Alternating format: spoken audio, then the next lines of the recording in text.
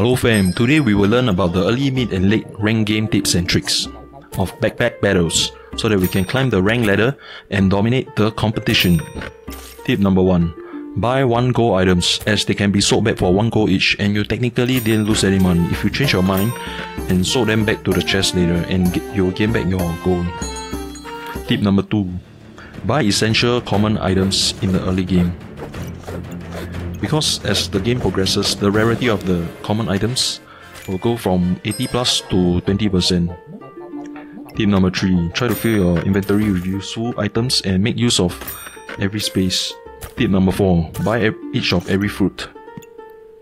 Tip number 5. Buy items generators like piggy bank, box of riches, shovel. Tip number 6 Buy on sale items as they cost half of their original price and can be sold back at the same price to recruit the same the spend gold if you change your mind later. Let's say a holy armor causes 12 gold by default, but when on sale will cost 6 gold. When you sell it back, you will gain 6 gold. And thus is basically a great buy, even if you use it temporarily, because you lose no money if you sell it back later. Tip number 7. Food, weapon, pot, and defense are important to make sure to have at least one of each.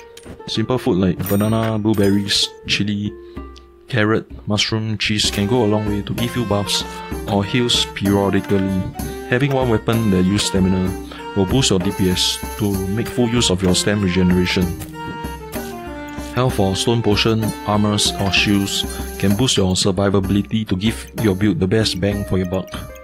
Tip number 8. Holding an item and right clicking it will rotate it clockwise while pressing Q will rotate it anti-clockwise. Tip number 9. Use WASD on your keyboard to move the whole inventory around. Tip number 10. Reserve 3 or less gold for the next round and not waste them if necessary. Tip number 11. Reserve half of your gold to buy space and the other half for big buys.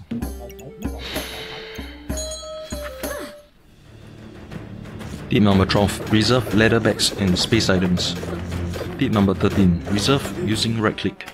Tip number 14. Reserve your customer card in your inventory or you will lose the benefit when you put it in your storage.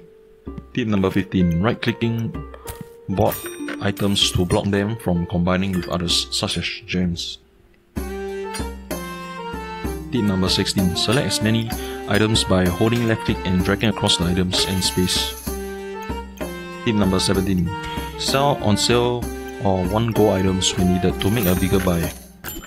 Tip number 18. Spend 1 gold to refresh the shop 4 times and reroll the dice for better chance of buying what you need. Tip number 19. 2 bananas or strong heroic pots are bare minimum for more than 1.5 stamina usage per second. Tip number 20. 2 customer cards can combine into a platinum card which will increase your shop rarity items and reflect debuffs. Tip number 21 Attack speed is more important than damage. Tip number 22 Keep in mind meta builds and ways to counter them. Tip number 24 Locking gems is useful when you have plenty of gem sockets and keeping them from combining will increase your percentage when they are not combined. Tip number 25 Replacing leather bag with other space bags can reduce space waste and place more items on your inventory. Tip number 26 Reroll will become 2 gold after 4 rounds of rerolling with 1 gold each. So that is when you should stop rerolling. Tip number 27 Selling weapon can create space and earn back your gold. Make sure important items are in your inventory. Tip 28 Some items like bag of stones, potions, and deck of cards require special positioning rotation and facing directions in order for them to work and affect other items. Kind of like a domino. Tip 29. Speed of action is important when shopping and configuring inventory as your matchup gets stronger if you take your time. Tip 30. Stamina is more important than health regen. Tip 31. Variety of utility is important. Try not to build too many duplicates of one single item and diversify your damage, defense, utility, etc. Let's tackle 9 Reddit questions. Question 1 IWEK7 asks I often have situation with ranger when I have sword, sword, pan and broom at some point at the start of the game. Does anybody know if it is worth it to keep short sword in this setup or is it bad due to stamina shortage? How about when I have a single banana on top of that? Personally, I would buy wood sword, two whetstones and two gloves to create steel sword then falcon blade which will increase the speed of items activating when placed beside it.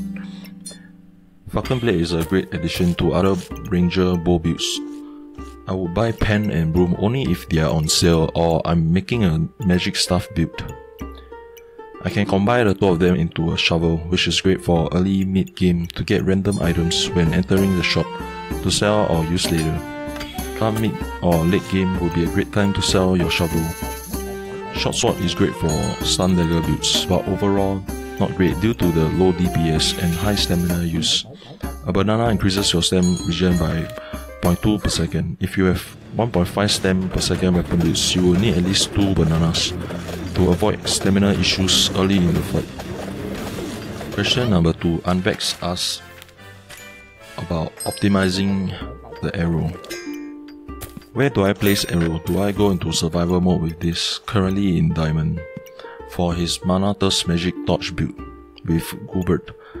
What else should I build towards? I know I need more Acorn Collar, but none shown up. Went for Crown and more mana.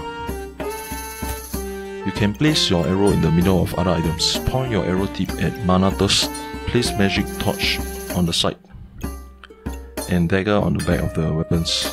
So basically the weapons are all touching the arrow, surrounding the arrow. Followed by other items like food or shield on the side of the arrow. Question 3. iEyeOpen asks can you switch classes? If yes, do they have an empty inventory? You can choose one class and one subclass each run, which can run up to 10 rounds pre-survival and up to 18 rounds with survival mode. Second question, if you can switch classes, do you forfeit the previous class and start from zero? You can't switch classes once you pick one class, such as Ranger or Reaper. Each run is only entitled to one class only. Third question. What kind of progress do you even make in this game that is permanent items and ranking? If you play ranked game mode, your ranks and trophies for all classes will stay with you after each run and update after each run.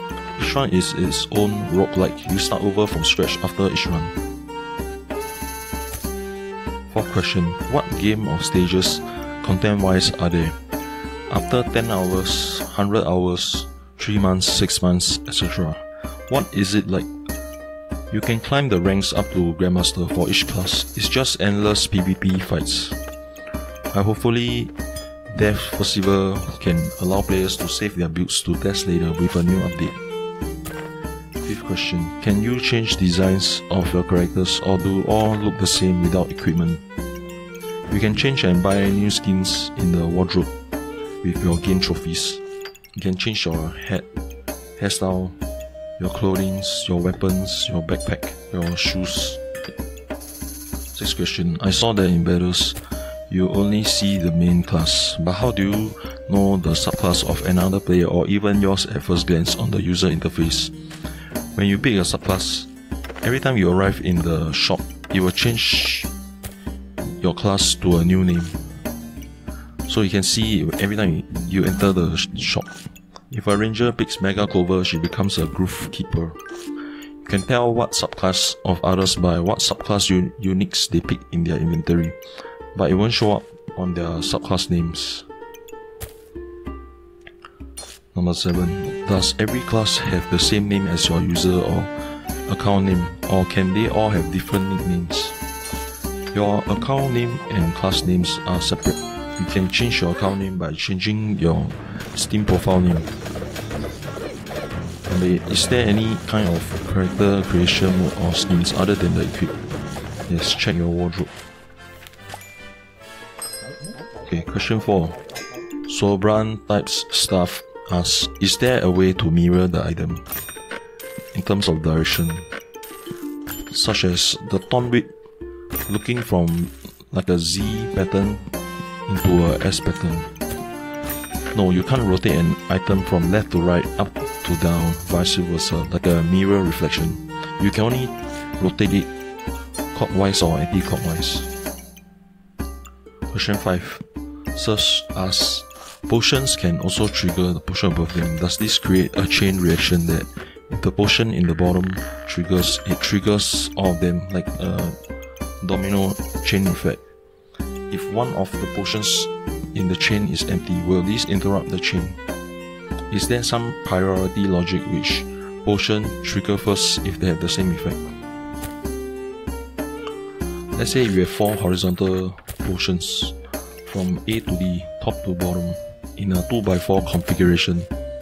D at the bottom triggers, it will also trigger C, but when C triggered by D, it will not trigger B or A due to D triggering. It is not a continuous chain, it's more like a D triggers C and then it ends at C.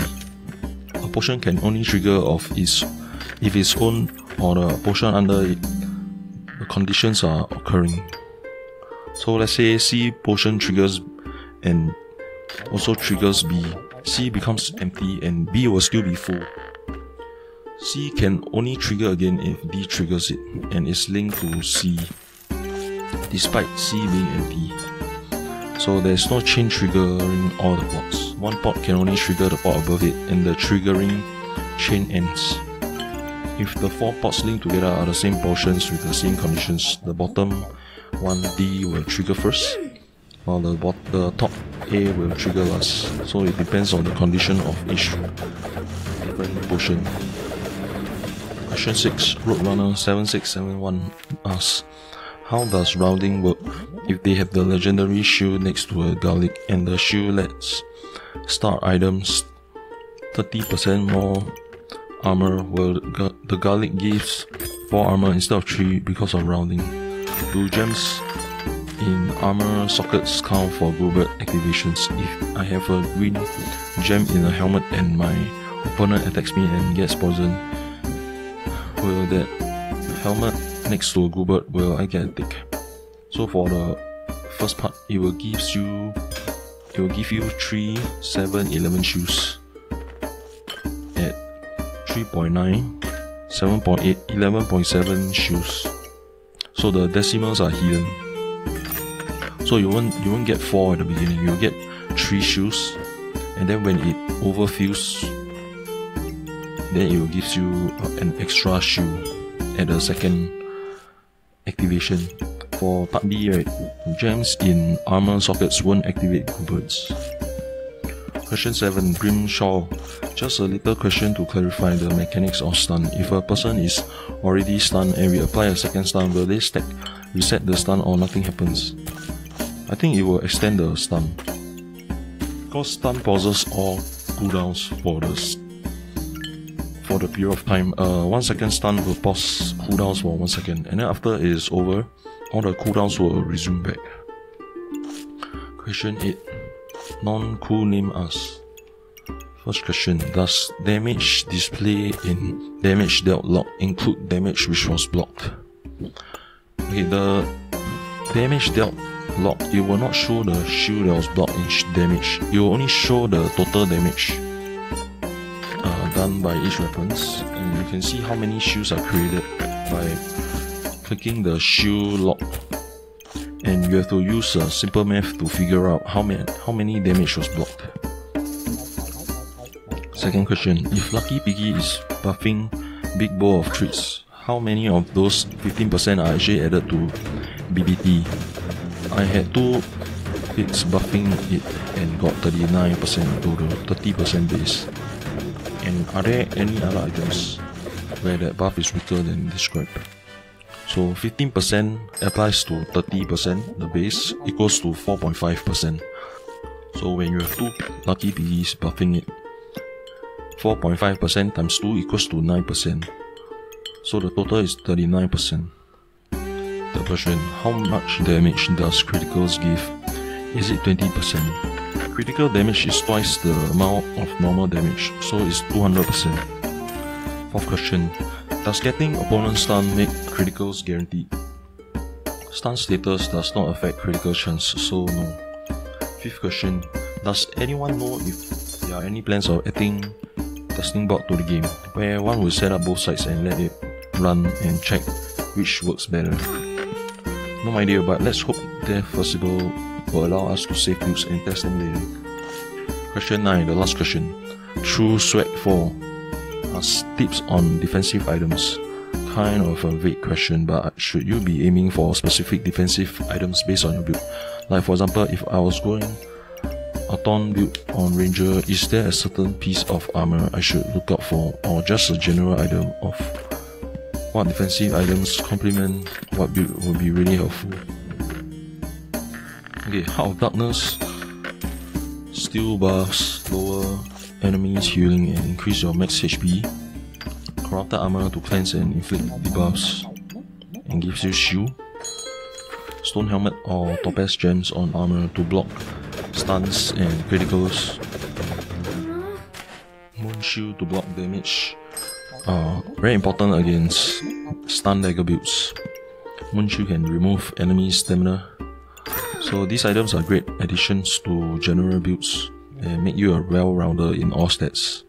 So it really depends. If you are doing Reaper, debuff, Dark Saber builds, you might go you might heavily require corrupted armor. If you are going for